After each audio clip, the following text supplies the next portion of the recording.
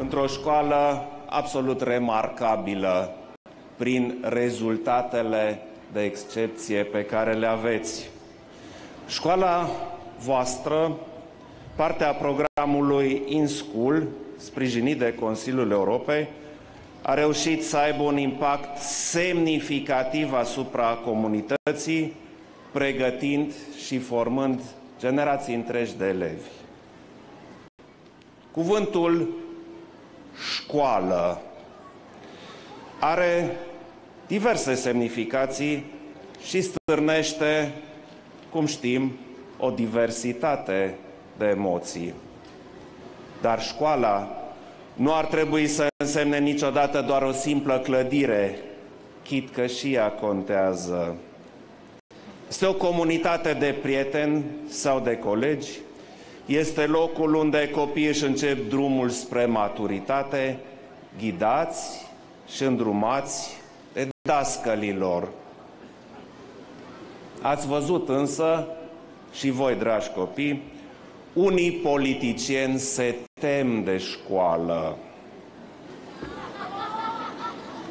Aici, în școală, sunt formați oamenii care le taxează erorile de logică și mai nou, destul de des, de exprimare. Tot aici se resimte eșecul politicilor publice din educație, dar și lipsa de creativitate a acestora. Vedem cum, în loc să fie adoptate măsuri pentru creșterea calității educației, se preferă măsuri de facilitare a fraudei la bacalaureat. Cum se încearcă reducerea numărului celor care ajung să susțină examenul de evaluare națională?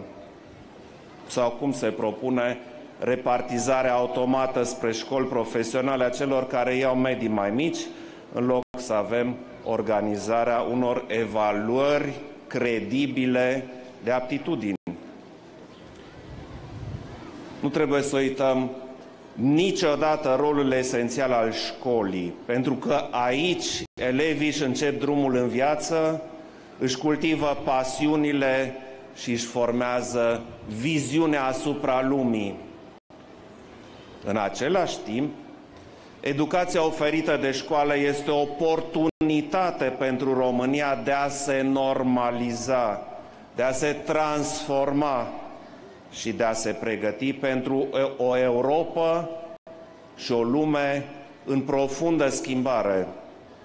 O lume care nu așteaptă după cei care sunt captivi în practici anacronice, în corupție sau în metehne comuniste.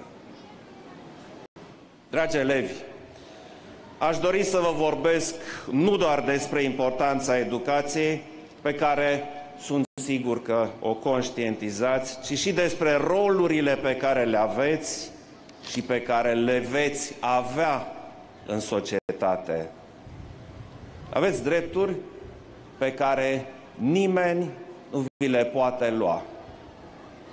Voi, ca cetățeni ai României, trebuie să beneficiați de respectul și sprijinul de plin al instituțiilor statului. Este imperativ ca respectul să fie în centrul procesului de educație din școli. Și când spun asta, mă refer la respectul pe care îl datorați profesorilor voștri, dar și la respectul cu care profesorii la rândul lor au obligația să vă trateze. Toți copiii, fără niciun fel de discriminare, trebuie să se simtă la școală încurajați, protejați și în siguranță. Din nefericire, în România nu suntem încă în această situație, iar de multe ori copiii sunt cei care resimt efectele negative ale corupției sau ale nepăsării statului. Autoritățile au datoria de a crea un mediu sigur în clase, însă multe școli în ziua de astăzi nu au nici măcar un serviciu de pază funcțional. Este tot de datoria autorităților să asigure un drum sigur către școală. dar iată că și aici există tergiversări în organizarea și decontarea transportului elevilor. Ba mai mult, există demersul ale guvernului care scot transportul rutier județean din area serviciilor publice. Astfel, copiii sunt expuși riscurilor atât în interiorul școlii, cât și în drumul spre școală. Aceste dovezi de nepăsare trebuie să înceteze. Avem nevoie de o normalizare a modului în care interacționăm cu instituțiile statului, iar această normalizare poate fi făcută doar prin educație și împreună cu oamenii cărora le pasă și care acționează. Nimic nu se schimbă de la sine. Toți cei care au puterea de a contribui la schimbare au responsabilitatea să o facă. Dragi elevi, cu toții avem, nevo- avem nevoie de repere.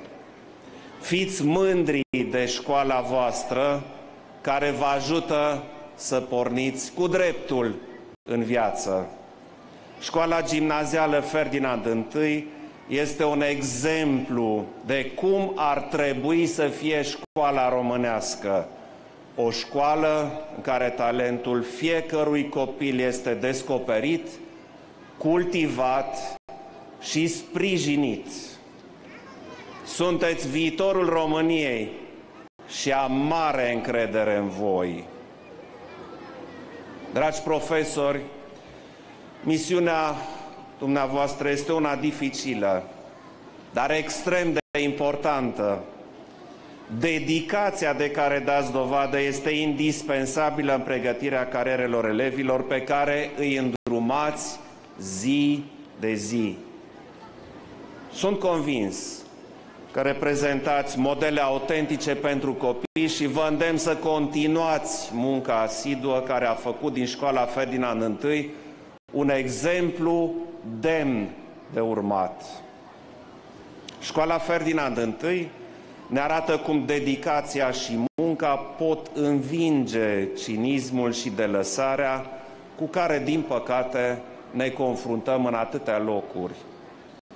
Vă felicit pentru tot ceea ce faceți și sper ca pe viitor practicile educaționale de aici să devină regula nu excepția. De asemenea, doresc să-i felicit și pe inițiatorii și promotorii proiectului In School, sprijinit de Uniunea Europeană și Consiliul Europei. Salut pe această cale prezența la această festivitate a doamnei director general pentru democrație din cadrul Consiliului Europei și mulțumesc pentru implicare. Atât aici, cât și în alte școli din țară, Proiectul InSchool a contribuit la creșterea ratei de retenție și a succesului școlar în rândul tuturor copiilor, indiferent de etnie. Mai mult, acest proiect pornește de la premisa sănătoasă a abordării problemelor de participare și succes școlar, evitând tendințele toxice de a cosmetiza rezultatele valorilor naționale, sau ale bacalaureatului pe care le vedem, din păcate, la unii politicieni și chiar în unele școli. Dragi părinți, vă felicit pentru efortul pe care îl depuneți pentru a asigura copiilor voștri accesul la o educație de calitate. În condițiile în care România se află din păcate, în mod rușinos între fruntașele europene în materie de părăsire timpurie a școlii, în condițiile în care sistemul nostru de finanțare a educației nu răsplătește adecvat școlile care generează o schimbare reală în comunitate, contribuția familiei este critică pentru succesul educațional al copiilor. Îmi doresc ca modelul educațional de la școala gimnazială Ferdinand I să devină din ce în ce mai răspândit în sistemul nostru de învățământ. Dragii mei, vă doresc tuturor un an școlar foarte bun și mult succes!